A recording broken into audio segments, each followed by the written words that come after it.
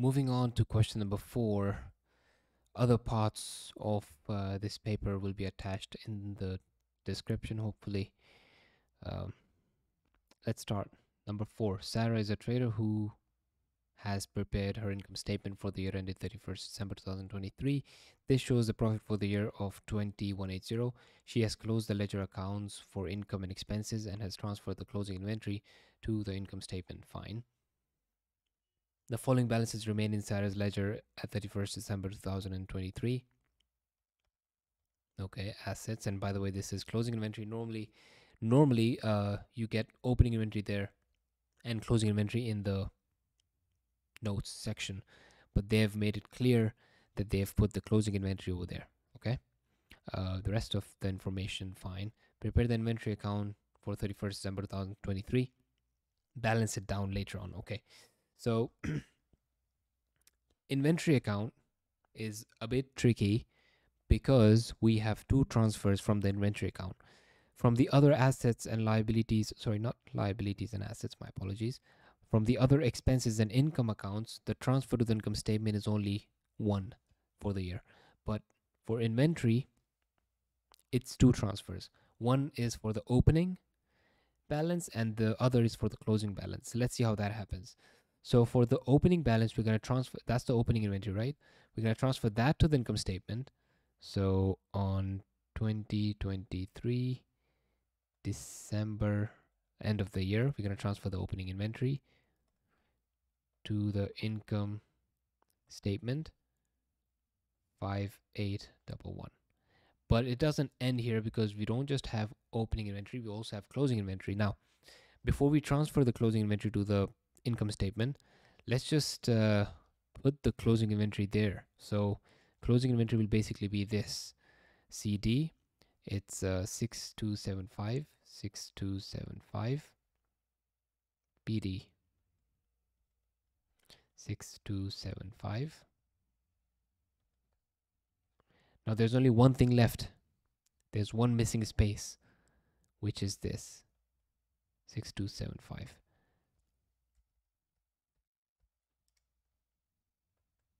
and that's the transfer to income statement for the closing inventory. If you notice both the transfers happen on December 31st but this one is for opening inventory this one is for closing inventory.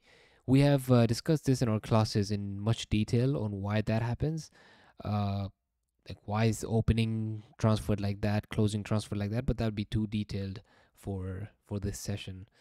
Uh, Jan 1st 2024 okay let's move on prepare the cap capital account for the year ended 31st December, balance the account, and bring down the balance on 1st January. Okay. Now, one thing is uh, they did say income statement is already prepared, and it says that's our profit, and that's why we're able to make the capital account. So it starts with the opening balance, which was provided to us 115793. 115793. How do I know where to put it? Well, capital account is always credited. Balance brought down. When was it brought down? 2023, Jan 1st. Okay, uh, there was profit for the year, which is which we can put there. Profit for the year, you can say for the year, which is 2180. Okay. Anything else about capital? none of that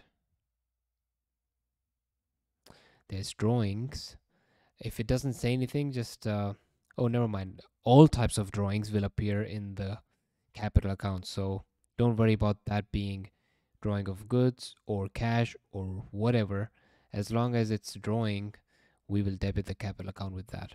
So drawings of course on December 31st 2023 and they specifically asked us to balance it. So clearly that side is smaller.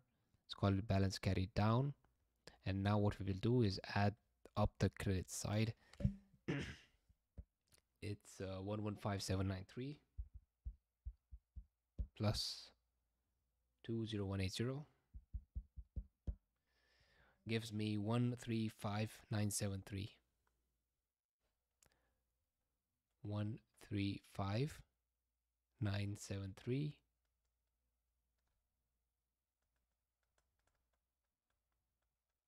and if I deduct the 19260 I get 116713 that's not enough because they want us to balance it down. So 2024 Jan 1 balance brought down. Oh sorry that goes here. Jan 1 balance brought down. 116 713 let's uh, erase that. Oops. Okay. Was about to mess it up but we're safe. All right. Let's move on. Prepare the statement of fin financial position on 31st December. Okay. Now that's gonna be a little bit time consuming but it's okay because they've made things so clear for us uh, we just have to copy paste essentially. So make sure you nicely organize it. So you start with non-current assets for which you have uh, premises.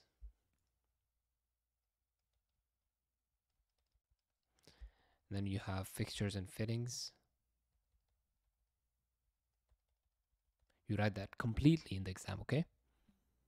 Uh, both are at cost so 140 140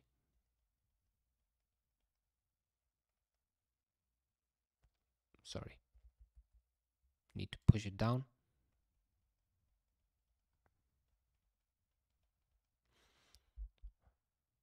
What about depreciation? 15,000 depreciation on this.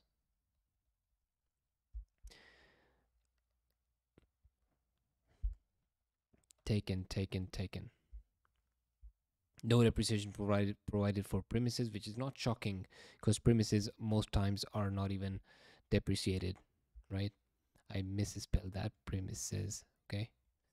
Uh, so in this case no nothing there. And so it's just going to be 40 minus 15 25,000 that's just uh, as it is. Okay you can label that cost accumulated depreciation um, carrying amount or net book value or carrying value it's all the same. Let's add this up. That's 140,000 that's 15,000 that's uh, 125,000 that's for your non-current assets. Close this off but this one is going to be used later on. So let's now list down our current assets can you say CA? You cannot. You need to write current assets as it is. So we have, uh, for the current assets, we have inventory, receivables, for which don't forget there's provision. So inventory, there's trade receivables, there is uh, provision, cash.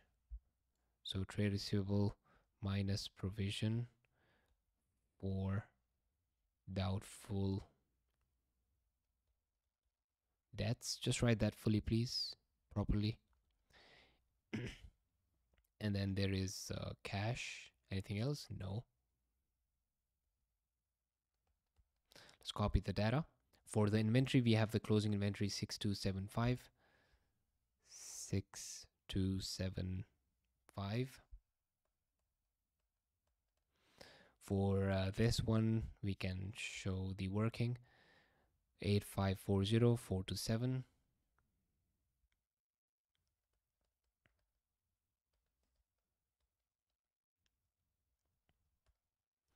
let me do that.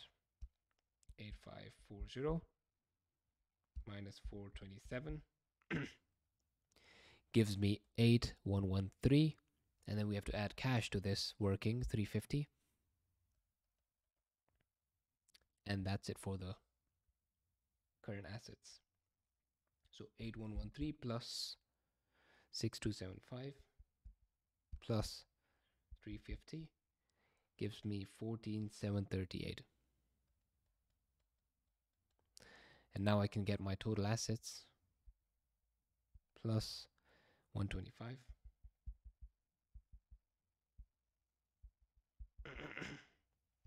one three nine seven three eight one three nine seven three eight is my total assets. Now as you might be aware as you should be aware the next section is about your capital and liabilities. Say capital and liabilities in which you will have uh, first the capital section which we have already dealt with. We have the capital amount 116713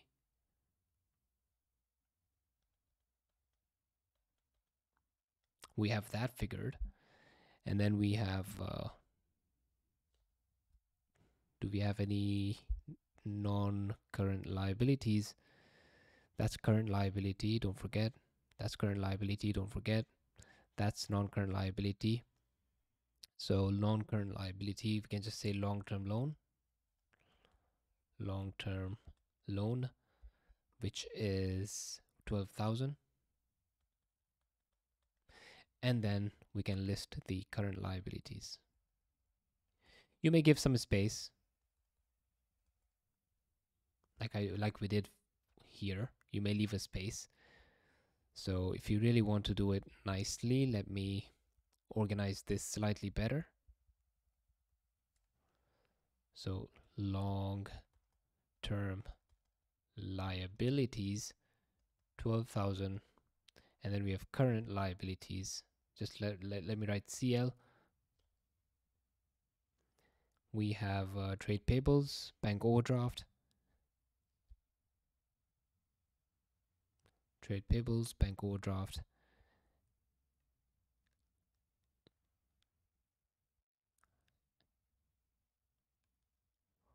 Mm.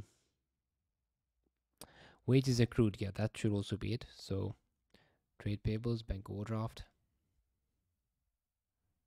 trade payables, bank overdraft, and then we have uh, wages accrued. So you can write wages accrued or any accruals will basically be other payables. So trade payables in this case is 5125.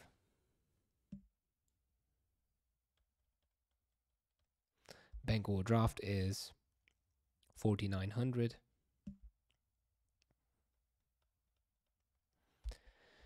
And the last one 1000.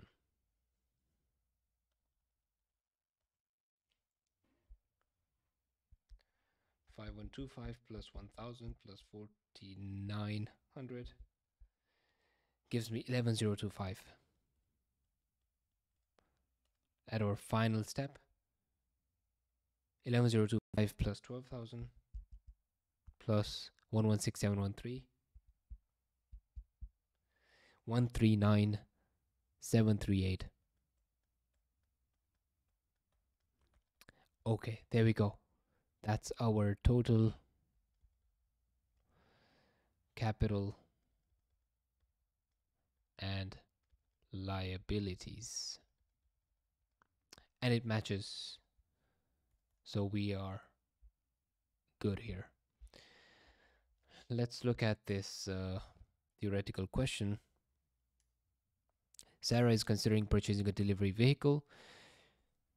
Okay, good idea. She thinks her sales would increase if she was able to deliver goods to her customer. She would charge a small amount to her customer to cover the cost of delivery. Well, I think this is good. Um, customers are going to be happy. They will place more orders because a lot of times what happens is customers are far away. They find it difficult to really get things picked up. So when there is this option for delivery, they'll be happier to uh, do more business with Sarah. Sarah advise Sarah whether or not she should purchase the delivery vehicle. So advantages and disadvantages. So easy to come up with these. These are mostly logical. You should never miss out on these marks.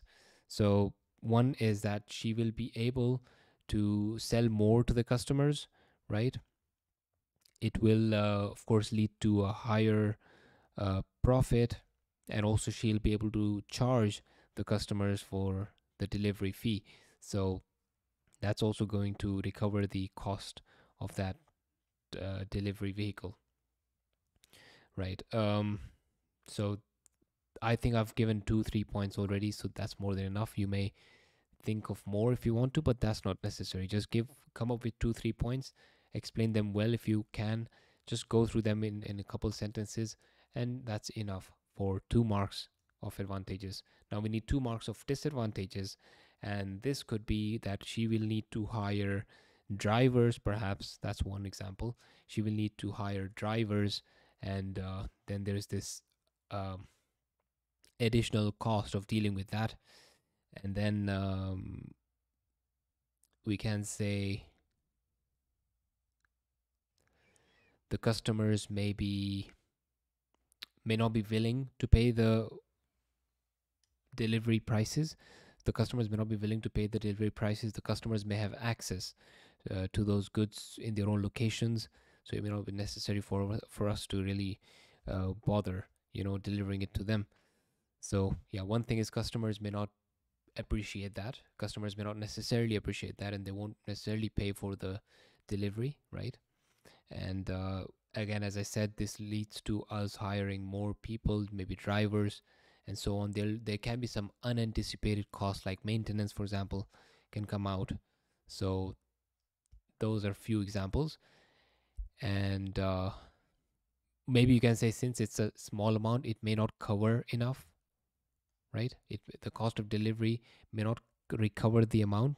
That's another one. So i think i've given you like what two three four of disadvantages. You can just put them the ones you like the best. Come up with your own usually these questions are not in the book they're your own knowledge your own uh, logical answer so just put two points for advantages two disadvantages and justify and and conclude recommend something state the meaning of the term revenue receipt. Revenue receipt are the amounts received from from day-to-day business activity, right? It's from day-to-day business activity. Amounts received from conducting day-to-day business activities. That's it for this one. Let's see you in the next one.